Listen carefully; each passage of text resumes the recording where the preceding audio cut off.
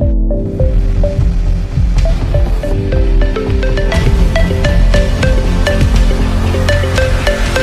to our 20 minute math classy.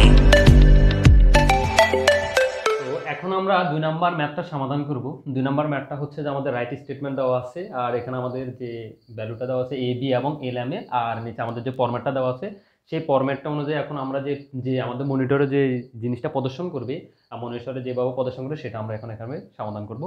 তো আমরা দেখি, এখানে আমাদের বলা আছে যে রাইট সিক্স কমা আমাদের eighty eight A B L M তো আমাদের এইখানে যে শুরুতে আমাদের যে এবি দেওয়া আছে, দেখা যাচ্ছে যে আমাদের এবি যে ফর্মটা সেটাকে আমাদের এক্সপোনেনশিয়াল ফর্মে দেওয়া আছে। এখন আমরা যে এইবি এবি এর যে ভ্যালু সেই ভ্যালুটাকে আমরা এক্সপোনেনশিয়াল ফর্মে নিতে হবে। তো ফার্স্টে আমরা এ এবং বিকে এক্সপোনেনশিয়াল ফর্মে নিয়ে যাই আমাদের এই ইজিক্যালটু হচ্ছে আমাদের কত? ওয়ান টু থ্রি পয়েন্ট আমাদের হচ্ছে কি? ফোর ফাইভ তো এটাকে আমরা লিখতে পারি যে হচ্ছে আমাদের zero point one two three four five E plus এখন আমাদের দশমিক যদি ডান দিক থেকে বাম দিকে যায়, তাহলে হবে প্লাস আর যদি দশম- দশমিক বাম দিক থেকে ডান দিকে যায়, সেক্ষেত্রে হবে আমাদের মাইনাস তো এখানে আমাদের যেহেতু ডান দিক থেকে বাম দিকে গেছে, আমরা প্লাস ইউজ করব প্লাস জিরো থ্রি এক্ষেত্রে আমাদের একটা জিনিস লক্ষণীয়, সেটা হচ্ছে আমাদের দশমিকের পরে কিন্তু দুই ঘর রাখা হয়েছে। তো এই জন্য আমরা এখানেও দশমিকের পরে দুইটা ঘর রাখব।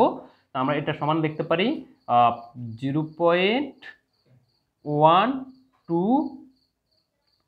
one two E plus zero three okay এবার হচ্ছে আমরা বি কে নিয়ে যাই, তাহলে বি ইজ ইকুয়াল টু আমাদের হচ্ছে six seven eight point nine nine nine is equal to আমরা এটাকে করতে পারি zero point six seven eight nine nine nine E plus এক্ষেত্রে আমাদের দশমিক কত করে হচ্ছে তিন গড়, তার মানে আমরা প্লাস যেহেতু ডান দিক থেকে বাম দিকে গেছে, তার মানে plus zero three is equal to যেহেতু আমাদের এই ক্ষেত্রেও দশমিকের পর আমাদের দুই ঘর রাখা হয়েছে এই জন্য আমরা দশমিকের পরে দুই ঘরে রাখব। এখন আমরা জানি যে দশমিক বিন্দুর দুই ঘর ডানের সংখ্যা পাঁচ অথবা তার ঊর্ধ্ব হলে দ্বিতীয় ঘরের সংখ্যার সাথে আমাদের এক যোগ করতে হয়। তো আমরা লিখব যে জিরো পয়েন্ট আমাদের হচ্ছে six eight E plus zero three. আচ্ছা ওকে? আচ্ছা এবার এখন আমরা যে আমাদের যে মেমোরির যে ইউনিটটা সেই মেমোরির ঘরগুলা এঁকে আমরা এটা ঘরের মধ্যে স্থাপন করব। তো ফার্স্ট অফ অল যে এটা আমাদের যে দেওয়া আছে যে ওয়ানটা এই ওয়ানটা আমাদের একটা ফরম্যাট সেটা হচ্ছে এই ওয়ানের ফরম্যাটটা আমাদেরকে নির্দেশ দিলে আমরা কি করব? আমরা পরবর্তী পৃষ্ঠা থেকে মানে লেখা শুরু করব। তো জাস্ট এখানে আমাদের, এখন আমাদের যে ইয়ের জন্য এখানে দেওয়া আছে যে আমরা ইয়ের যে ফর্মটা সেই ফর্মটা আমরা যদি দেখাতে যাই ই এখানে আমাদের টুয়েলভ পয়েন্ট টু এটা হচ্ছে আমাদের যে এক্সপোনেনশিয়াল প্রবলেমের জন্য, আর এই বারোটা হচ্ছে আমাদের কলাম সংখ্যা, আর এই টুটা হচ্ছে আমাদের দশমিকের পরে যে যতগুলা কলাম হবে, বা যতগুলা দশমিকের পরে যতগুলো গড় থাকবে সেটা।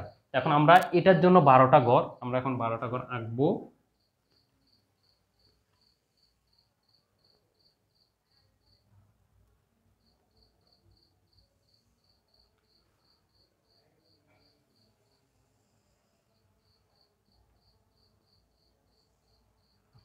ওকে, আমরা এঁকে নিচ্ছি আমাদের one, two, three, four, five, six, seven, eight, nine, ten, eleven, twelve.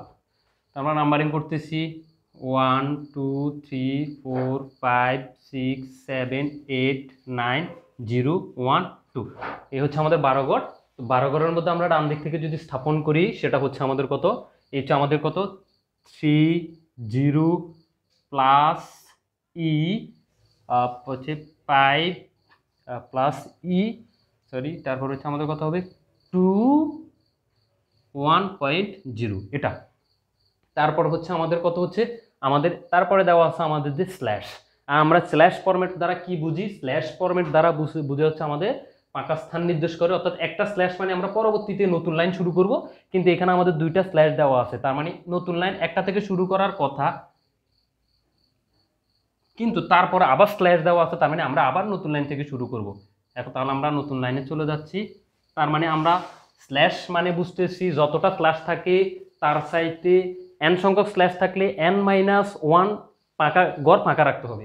যেহেতু আমাদের এখানে দুইটা স্ল্যাশ আছে, তার মানে আমরা একটা ঘর ফাঁকা রেখে পরবর্তী ঘরে চলে যেতে হবে। তো আমরা এখানে এক, যেহেতু এখানে আমাদের বারোটা কলাম হবে, আমরা বারোটা এখানে নিচ্ছি। One two three four five six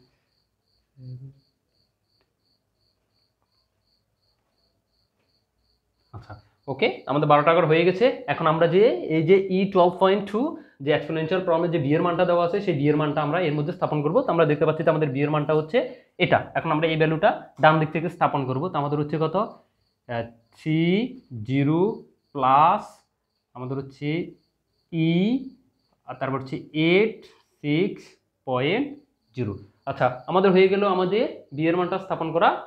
আচ্ছা এবার আমাদেরকে দেওয়া আছে তিনটা স্ল্যাশ। এখন আমরা একটু আগে বলছি যে যত সংখ্যক স্ল্যাশ থাকে, তার সাইতে একটা কম হবে, আমরা ঘর ফাঁকা হবে। যেহেতু এখানে তিনটা স্ল্যাশ তিনটা স্ল্যাশের জন্য আমাদের দুইটা ঘর ফাঁকা রেখে আমরা পরবর্তীটা ঘরে চলে যাব। তাই আমরা দুইটা ঘর এঁকে এঁকে ফেলতেছি এই একটা, দুইটা, তারপর হচ্ছে আমাদের হচ্ছে আমাদের তিন নাম্বার ঘরটা। আচ্ছা ওকে তো আমাদের এখন এই যে দুই, যেহেতু তিনটা স্ল্যাশ দুইটা ঘর পাকা রাখা হয়ে গেছে, আমরা তৈরি করে নিচ্ছি, কারণ মেমোরির ইউনিটগুলো তো এরকমই হয়।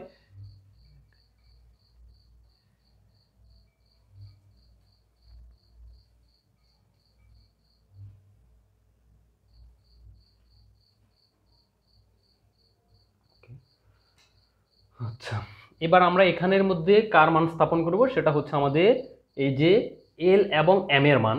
এই ক্ষেত্রে দেওয়া আছে আমাদের আই হবে কয়টা? ছয়টা। আই এর মানটা হচ্ছে কয়টা আমাদের? সিক্স অর্থাৎ আমরা ছয়টা কলাম হবে একটার জন্য। ছয়টা, তারপর আবার চারটা ব্ল্যাঙ্ক হবে। তো আমরা এখন এই যে ছয়টা, এই যে কলামের মধ্যে আমরা এই যে সিক্স থেকে আমরা কার মানটা স্থাপন করে আসব? আমরা এল এর মানটা স্থাপন করে আসব। তো এল এর মানটা আমরা যদি ছয় সিক্স থেকে এল এর মানটা স্থাপন করে আসি এল এর মান কত? Six five four three two one আমাদের এল এর মানটা স্থাপন করা হয়ে গেছে। এখন আমাদের তারপরে চারটা ব্ল্যাঙ্ক হবে। আমরা চারটা ব্ল্যাঙ্ক দিয়ে দিই। বি বি বি বি আচ্ছা চারটা ব্ল্যাঙ্ক আমাদের হয়ে গেছে। তারপর হচ্ছে আমাদের কার মানটা স্থাপন করতে হবে? আমাদের হচ্ছে এম এর মান। এম এর মানটাও আমাদের কয়টা ঘর স্থাপন করা হবে? ছয় ঘর আমরা ছয় ঘরের জন্য আমরা আবার এদিকে ছয় ঘর আঁকতে হবে। কারণ আমাদের এক, দুই, তিন, চার, পাঁচ, ছয়। ছয় ঘর আঁকা হয়ে গেছে, এখন আমরা ছয় ঘরের মধ্যে কার মানটা স্থাপন করব সেটা হচ্ছে এম এর মান। এম এর মানটা আমরা কত জানি? এম এর মানটা হচ্ছে নাইন এইট সেভেন তো আমরা ছয় ঘর থেকে যদি আমরা এখানে আবার নাম্বার ইকুয়াল টু আমাদের হচ্ছে কত? One two two three one two three three four five six আমরা যদি সেম সাউন্ড করি হচ্ছে নাইন এইট সেভেন এখন এরপর আবার চারটা ব্লাঙ্ক হবে। আমাদের ব্লাঙ্কের জন্য চারটা কোন আঁকতে হবে। এক, দুই তিন, চার। আমাদের বি বি বি বি তার মানে আমরা এখানে গড়গুলো পূরণ করি। Numbering one two three four five six seven eight nine zero এটাই হচ্ছে আমাদের এই ম্যাটটার সমাধান।